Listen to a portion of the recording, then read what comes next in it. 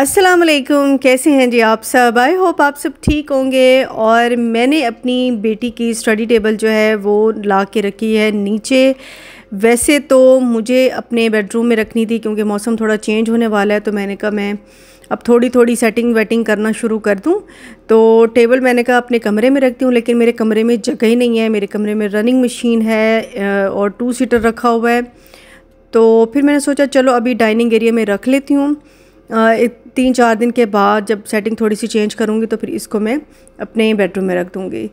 तो जी बस सुबह का टाइम है और मैं यहाँ पे काम शाम कर रही हूँ। मैंने व्लॉग तो वैसे स्टार्ट यहीं से किया था लेकिन मैं उसको कंटिन्यू कंटिन्यू नहीं कर पाई और फिर मैं उसका अगले दिन का आपसे अभी शेयर करूँगी। फ़िलहाल तो देखें जी स्कूल शुरू हो चुके हैं। बेटी मेरी अभी स्कूल से आई है। और आते मुझसे पूछती है कि, मम्मा, ये क्या आपने मेरी टेबल क्यों रख दी है यहाँ पे? तो मैंने कहा, बेटा, अब मौसम ऐसे भी चेंज हो रहा है तो मैं अब थोड़े थोड़े काम शुरू करूँगी तो मेरे काम होंगे ना?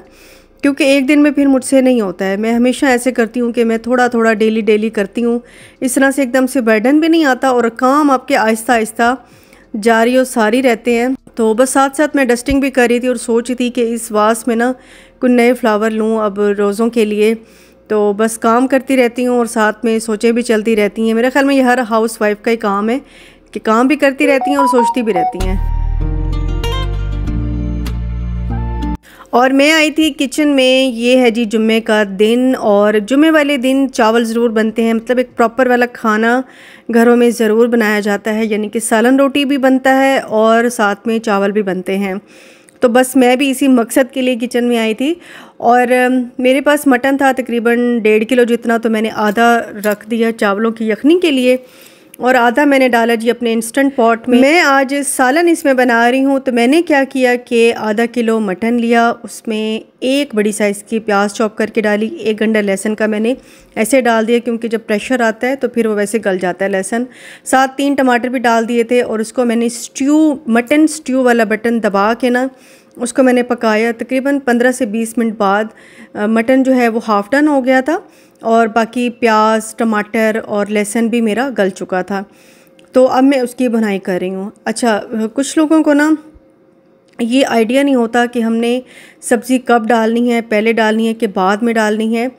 तो होता ये है कि जब आपका आधा कच्चा होना मटन या बीफ आप उसको उस वक्त भूनते हैं, क्योंकि उस वक्त मटन या बीफ टूटता नहीं है।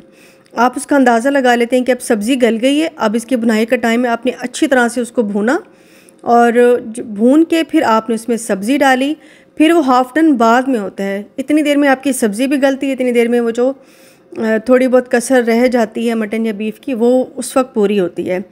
अच्छा मैंने मटर भी डाली तो आलू भी डाली तो कुछ लोगों को मैं देख के हैरान होती हूँ कि इवन यूट्यूब पे भी इतना गलत सिखा रहे होते हैं और मतलब लोग देखते हैं आपको।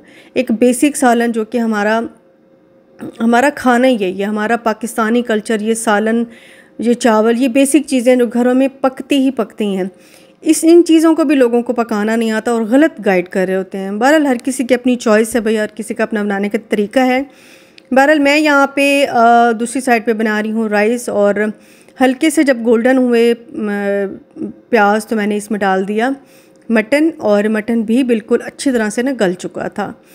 और मटन डालने के बाद मैं इसमें डालूँगी अदरक, लहसुन का पेस्ट, टमाटर, और क्योंकि आज मैं वाइट वाला पुलाव बना रही हूँ तो आज मैं इसमें लाल वाली मिर्चें नहीं ऐड करूँगी। सिर्फ़ और सिर्फ़ इसको सॉल्ट में बनाऊँगी, यखने वाला पुलाव बनाऊँगी। तो ये देखिए, मैंने बिल्कुल फ्रेश वाला लहसन जो है ना, वो कूट के रखा हुआ है। अच्छा फ्रेश वाला लहसन जो है, एक तो गोश्त या बीफ को गला भी बहुत अच्छी तरह देता है, दूसरा स्मेल ख़त्म हो जाती है। साथ ही मैंने हरी मिर्चें जो है, पीस के रखी हुई थी चॉपर में ही, हैंड चॉपर में तो वो मैंने आठ दस वो भी चॉप करके इसमें डाल दी और अब मैं इसकी बुनाई करूँगी अच्छी तरह से।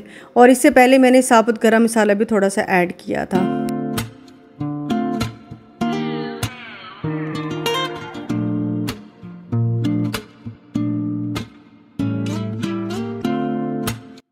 और जुमे वाले दिन क्योंकि हस्बैंड घर पे होते हैं तो फिर मेरी, उनके साथ साथ साथ बातें भी चलती रहती हैं और मैं खाना भी बनाती रहती हूँ। तो उस वक्त मेरा होता है कि हाथ बड़ा तेज़ी से चल रहा होता है मैं कहती हूँ, बस जल्दी जल्दी मैं चीज़ें भी बना लूँ, बस वही मैं बातें भी कर रही हूँ। और साथ मेरे जल्दी जल्दी में हाथ में चल रहे हैं, क्योंकि मैं बहुत क्विक हूँ। खाना बनाने में मेरे हस्बैंड कहते हैं कि तुम बहुत ही क्विकली खाना बनाती हो और अच्छा खाना बनाती हो। बहरहाल जी, मैंने यहाँ पे मटन जो है वो अच्छी तरह से भून लिया था। इसके बाद मैं इसमें पानी डालूँगी, यखनी डालूँगी और फिर इसमें राइस डालूँगी। राइस मेरे आज नए वाले हैं और बहुत ही अच्छा राइस है। मुझे बड़ी खुशी हुई कि मैं जहाँ से लेकर आई हूँ, वो बड़ी अच्छी जगह है। अब मैं एकदम मतलब एक दफ़ा कट्ठे ही मंगा लूँगी। रोज़ों के लिए भी मैं सारे एकदम कट्ठे यानी कि बीस या तीस किलो कट्ठे ही लेके आ जाऊँगी।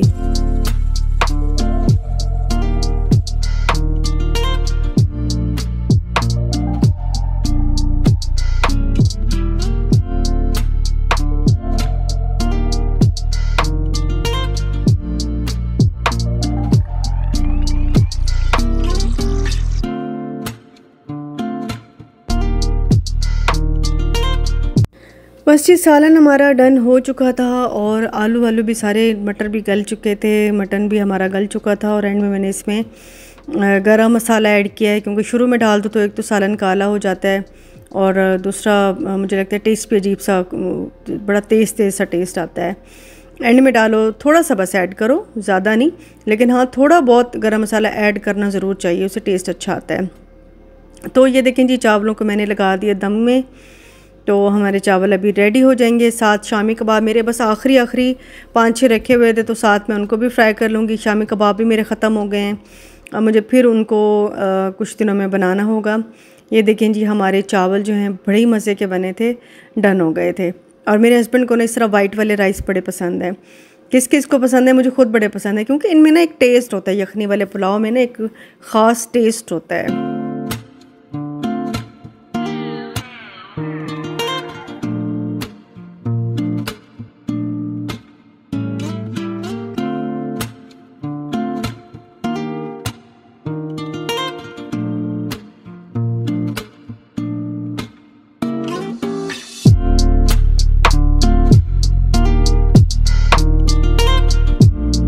और मैं जब लास्ट टाइम ग्रॉसरीज़ के लिए गई थी तो मैंने आपको ये दिखाए नहीं थे तो मैंने सोचा आपसे थोड़ा सा शेयर कर लूँ।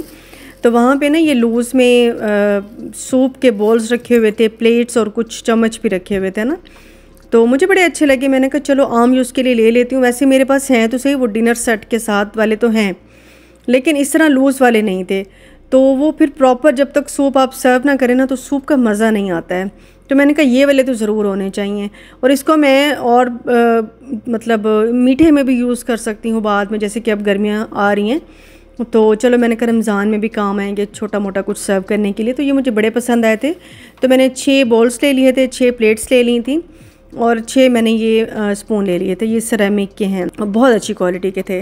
अच्छा इनका मसला होता है कि ये जो स्टिकर लगाते हैं ना प्राइस टैग वाला तीन के तो मैंने उतार लिए थे बाकी तीन के बिल्कुल उतर ही नहीं रहे थे। तो मैंने फिर क्या किया कि इनको पानी में भिगो के ना थोड़ी देर के लिए मैंने कहा इनको रख देती हूँ। तो थोड़ी देर बाद इनका स्टिकर उतर जाएँगे तो धो के ना मैं इसको यूज़ करने के लिए बस रख दूँगी। क्योंकि जब आप जल्दी जल्दी सर्व कर रहे होते हैं तो फिर जब ये रह जाते हैं बड़ी कोफ्त होती है उस टाइम जी कैसे हैं आप सब? तो बहुत दिनों से आप सबसे बात भी नहीं हुई थी। मैंने सोचा आज आपसे थोड़ी सी बातें कर लेते हैं। तो बस जी, अब सर्दियाँ तो जा रही हैं, गर्मियाँ आ रही हैं गर्मियों की तैयारी हो रही है। और, बस यही चलता है कि सर्दियाँ आती हैं तो सर्दियों की तैयारी शुरू कर देते हैं, गर्मियाँ आती हैं तो गर्मियों की तैयारी शुरू कर देते हैं। प्रॉब्लम मुझे लगता है तब होती है जब रोज़े भी आ रहे होते हैं या फिर मौसम चेंज हो रहा होता है, दोनों चीज़ें जब इकट्ठी हो जाती है तो ज़्यादा परेशानी होती है। पिछली बार भी ऐसे ही हुआ था कि गर्मियाँ जब रोज़े आ रहे थे तो बिल्कुल एंड टाइम पे गर्मियाँ भी आ रही थी। तो वो टाइम ऐसा बन रहा था, या तो पहले मतलब सर्दी अब तक तो खत्म हो गई होती ना तो हम आराम से सर्दी के कपड़े रखे, फिर गर्मियों के निकालते। लेकिन वही टाइम बन रहा होगा, जब सर्दियों के कपड़े रखने होंगे, गर्मी के निकालने होंगे। तो मैं वही सोची थी कि मैं कुछ ऐसी अब आपसे वीडियो शेयर करूँ, जो आपके लिए थोड़ी सी हेल्पफुल हो, और ताकि आप आराम से रोज़ों की तैयारी भी कर सकें और कपड़ों की तैयारी भी कर सके। खाना पीना तो हर की, हर किसी की मर्ज़ी होती है कि आप जितनी तैयारी करें, उतनी कम है। जितनी कम करें, बस उतनी ही ठीक है मेरे ख्याल में। लेकिन हाँ कपड़ों का, या घर को संभालने का जहाँ तक है ताल्लुक तो वो थोड़ी सी परेशानी उस टाइम हो जाती है। क्योंकि जब रोज़े होते हैं तो हम चाहते हैं कि हर चीज़ नीट एंड क्लीन हो, घर बिल्कुल साफ़ सुथरा हो, कोई भी काम ना हो करने को। तो मैंने ये सोचा है कि अब जो आ गए इनशाला से वीडियोस मैं आपके लिए लाऊँगी। उसमें मैं अभी से ही शुरू कर दूँगी क्लीनिंग और ये सारी चीज़ें, ताकि आपको भी आसानी हो सके। आराम आराम से आप भी तैयारी करें, कोई जल्दी ना हो, कोई परेशानी ना हो तो आराम आराम से हम रोज़ों तक जो है ये सारे घर के काम और ये चीज़ें सारी कवर कर सकें। तो बस इसलिए मैंने कुछ प्लान बनाया है आज। इनशाला कमिंग डेज़ में उसकी वीडियोस भी आनी शुरू हो जाएँगी। दूसरा मेरे लिए बहुत बिज़ी बहुत बिज़ी दिन आने वाले हैं क्योंकि आपको पता है कि मेरा ब्रांड भी है उसके लिए फिर मुझे ईद कलेक्शन भी निकालनी है। लोन इनशाला से आएगी वो उस पर भी मुझे आ, काम जारी है अभी। ज़ाहिर है थोड़ा सा लेट तो हो जाएगा क्योंकि मैं लेट ही थोड़ा सा मैंने मेरा काम जो है मेरी लॉन्च जो है थोड़ी थोड़ी लेट ही आ रही है। लॉन भी थोड़ी लेट आएगी कोशिश करूँगी कि ईद पे ही आ जाए नहीं तो ईद के फ़ौरन बाद इंशाल्लाह आएगी। तो ये मैंने कहा थोड़ी सी चीज़ें मैं आपसे शेयर कर लूँ तो बाकी अपने परेशान नहीं होना ब्लॉग्स आते रहेंगे रेगुलरली आपके लिए आसानी, आसान आसान वीडियोस भी आती रहेंगी किस तरह से आप आसानी से बड़े आराम से चीज़ों को मैनेज कर सकते हैं। तो बस ये थी आज मेरी आपसे छोटी सी बात। इंशाल्लाह मिलूँगी आपसे नेक्स्ट वीडियो में। अपना बहुत ख्याल रखिएगा। अल्लाह हाफिज। जी बाय बाय